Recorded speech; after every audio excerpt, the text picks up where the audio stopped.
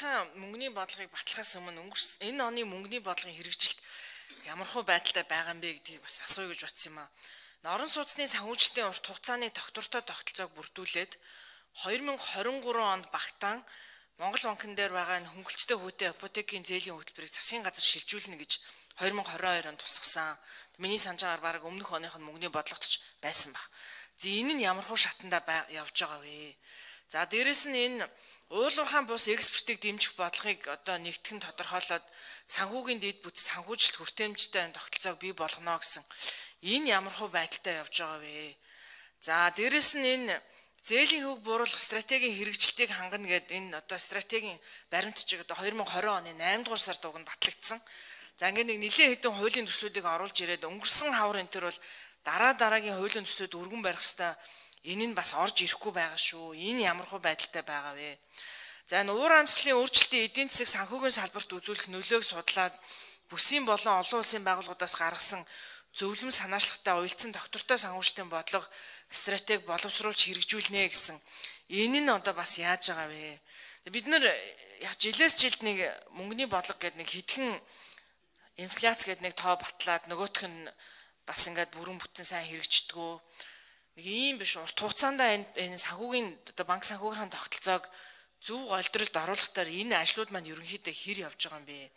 За түрүүн бас нэлээд олон асуултуудыг бусад гишүүд асуучлаа. 10 их найдын зохис төлөвлөгөөний хэрэгжилт ипотек энтертээр бол бас иргэд олон нийтийн зүгээс хүрхгүй байна, тасалдсан байна энэ төр гэдэг ийм шүүмжлүүд бас бас нэлээд бага шүү. За дээрэс нь энэ Монгол банкнаас энэ энэ одоо инфляцийн хөөрөгдөлтийг бууруулах дээр засгийн газар дээр эдийн засгийн байнгын хорон дээр биднэрт хэрвээ засгийн газар улсын хурал таа бүхэн маань ийм юм шийдвэрүүд гаргаж өгöd ингүүл бид нар энэ инфляцийг барихтаар бас нэмэртэй байна гэд энэ саналуудаа ер нь ойр ойрхон оруулж ирээд яриад байж бас болдгүй мүү. Тэгээ бидний хэрэглээний саксны 60 гаруй хувь нь гадаадын импорт байгаа. Тэр өөрөөр хэлбэл энэ одоо нөгөө халамжийн хөтөлбөрөнч байдаг юм уу? Төсөв санхүүгээр олгож байгаа энэ олон дэмжлэгүүд чинь тэр чигээрээ гадагшаа гараад ханшин дээр очиод дарамт очуулаад төлбөрийн тэнцэл дээр дарамт болоод ингэж явах юм бол байгаа онохгүй дэмжлэг болчоод байна шүү гэдэг энэ бүх саналуудаар та бүхэн энэ бусад засгийн газар улсын хурал эдийн засгийн байнгын хорож гэдэг юм уу энэ бүгдээр ер нь хэрэг мэдээлэл хийж хэрэг уйлдаж ажиллаж байгаа. Бид нэр хэрвээ энэ 60 гаруй хувь гэдгээ ядаж нэг нэг 2 жил 3 жил тутамд нэг 5 10 пунктээр буулгаад чадахгүй бол бид нар энэ ханшин дээр ямар ч одоо өөр арга барих арга барил ер нь байхгүй юм шүү. Тэгэл Монгол банкыг жилээс жилд шүүмжлээл загнаал ингээд сууж байгаас өөр арга байхгүй болчиход байгаа юм шүү те. Үүн дээр та бүхэн маань энэ оны хугацаанд хаана ямар ажлуудыг хийвэ, ямар саналуудыг дэвшүүлвэ, та бүхний гаргасан саналын дагуу ямар ажлууд хийгдвэ гэдэг энэ хэдэн асуултыг асуух гэсэн.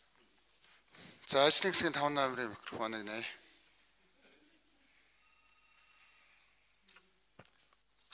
За Дунд векшны асуултанд хариулъя. Тийм 22 оны төрийн мөнгөний бодлогын үндсэн чиглэлийг а одоо танилцуулж байхдаа засгийн газар төрийн одоо бусад байгууллагатай хамтарч хэрэгжүүлэхээр саяны таны дурдж байгаа энэ асуудлуудыг бол оруулаад ингээ 22 онд хийгээд хэрэгжүүлээд тодорхой хэсгийг хэрэгжүүлээд явж байгаа. За ипотекийн зээлийг бол ингээ 23 онд шилжүүлэх талаараа барилга хот байгуулалтын яам сангийн хамтаа хамтраад одоо нэг ямар агентлаг байвал зүгээр вэ гэдэг талаас нь бүх судалгаа тооцоог нь бол хийгээд өгсөн байгаа. За энэ нь бол юу гэхээр бол одоо одоо өнөөдөр бол төрийн орон сууцны корпорац гэдэг ТОС гэж байдаг, нийслэлийн орон сууцны корпорац гэдэг байдаг. За МИК гэдэг Монголын ипотекийн корпорац гэдэг хувийн компани байж байгаа.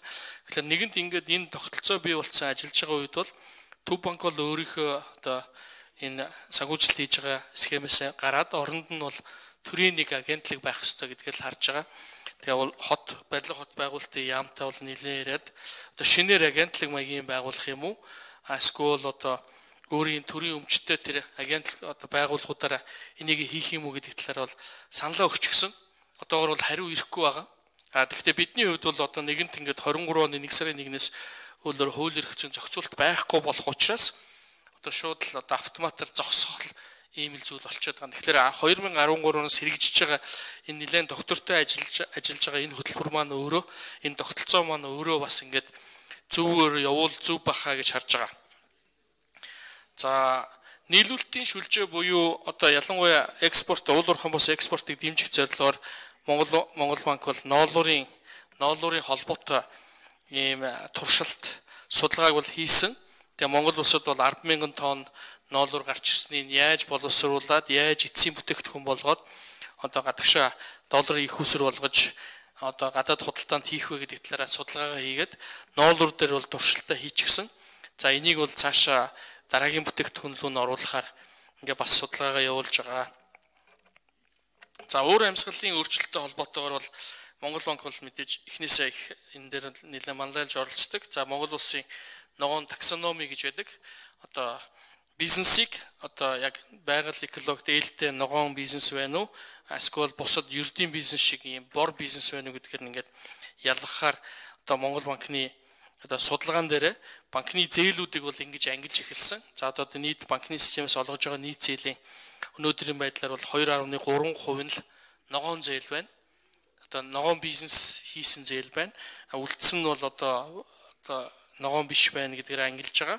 За тэгээс Монгол улсын ерөнхийлөгч ивэлдор зохион байгуулагдсан олон улсын одоо чуулга уулзалтанд энэ арга хэмжээний үеэр бол банкны холбоо одоо ингээ Монгол банк хамтраад өөрөөр хэлбэл өөрчлөлттэй холбоотой энэ таксономыг нэвтрүүлэх газрын зураг гэдгээ хөгжүүлж гаргасан байгаа. Олон улсын санхүүгийн корпорацтай хамтраад. Тэгээ энийг гар үсгээ зураад одоо бол энэ өөрөөр амьсгалын өөрчлөлттэй холбоотой арга хэмжээ одоо шийдвэр бодлого яаж явах вэ гэдгээр хийх ажлууд маань ингээд тодорхой газрын зургийг гарсан учраас тодорхой болчихсон явж байна. За өөр нэг зүйл нь бол одоо 2019 онд баталж исэн ногоон таксономига одоо олон улсын шин жишгт нийцүүл шинжлэх ажлыг бол одоо зохион байгуулалт явж байгаа. Тэгэхээр энэ ажил маань өөрөө бас ингээд хэвийн хэмжээнд үргэлжлээд ингээд сайжраад явж байгаа. За өөр нэг зүйл бол одоо манай хэрэглээний саксны одоо таны дурж байгаа нийт бүтээгдэхүүн үйлчилгээний 50 гаруй хувь нь ингээ импортын байна гэдэг маань одоо хүүхдийн мөнгөч гэдэг юм уу халамж гэдэг юм уу цалин орлого гэдгээр очиж байгаа нийт хэмжээ маань хэмжээний маань одоо хэрэглээ тал руу гарах юм бол 50% нь импорт руу гарч ийн. Энэ нь өөрөө долларын хэрэгцээг нэмэгдүүлж байна. За. Болгон реакшн та тодруулах уу? За. Гişүүд асуулт